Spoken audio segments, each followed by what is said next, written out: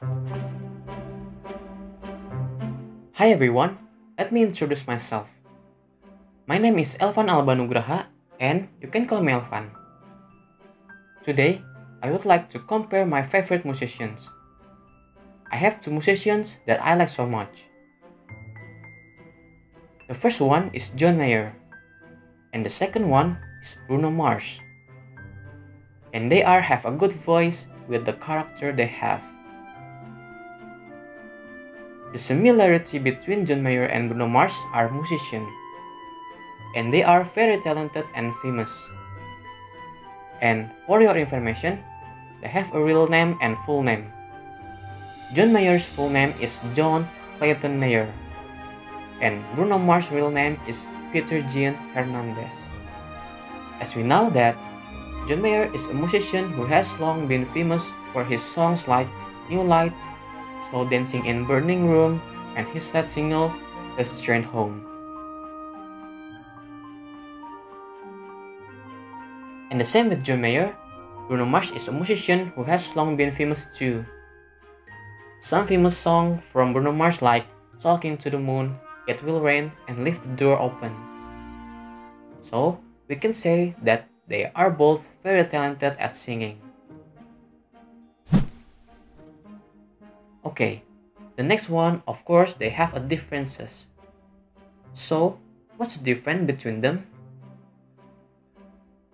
They are have a different date of birth. John Mayer was born in October 16, 1977, and Bruno Mars was born in October 8, 1985. So they are have an age difference of 8 years. They are also have a difference where they were born. Even though they have the same nationality, they have a difference in the city where they were born.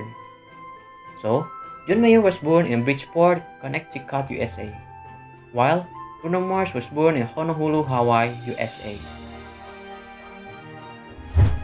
And the next one, they have a similarity in eye color. They have brown eyes. So, what else is different? John Mayer is taller than Bruno Mars.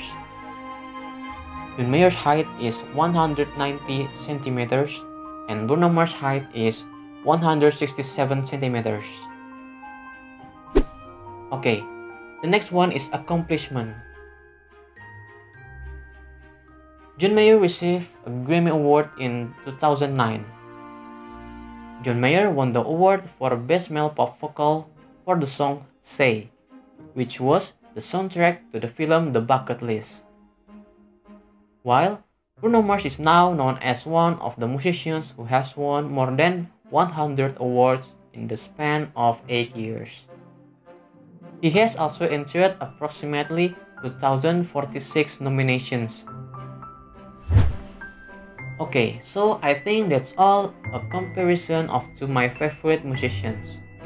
I hope you like my video and thanks for watching and see you in the next video.